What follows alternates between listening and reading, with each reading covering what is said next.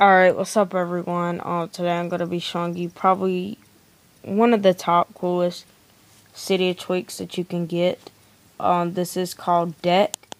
Um, just type in D-E-C-K and you should find it.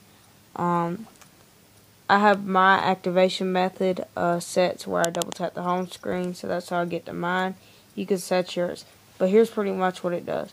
You can add custom icons uh, in the thing called Deck um, right now I have where you see the little iPhone picture. That brings me up to all different kind of power options. Uh, I have search. I have Pandora right here as my music camera. I can uh, tweet and I can go to my settings. Also, I can cut on my Wi-Fi, cut it off.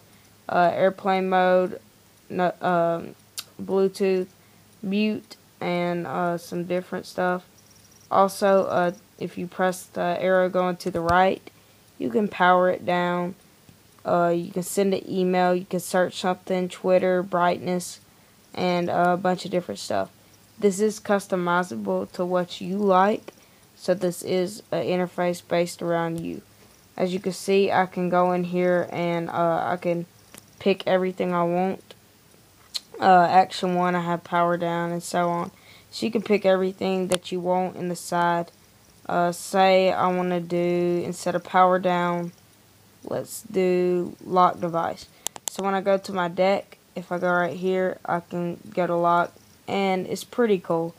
Uh, I really like this app. It comes in handy uh, when you need something really, really quick.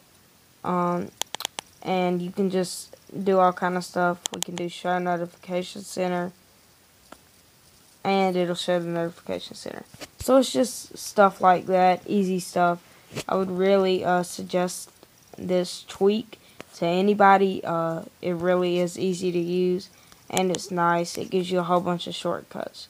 If this video helped y'all out any, please comment if you have any questions, rate and subscribe, uh, favorite, do all that good stuff. It really does help me out and I will continue to make more videos. Thank you.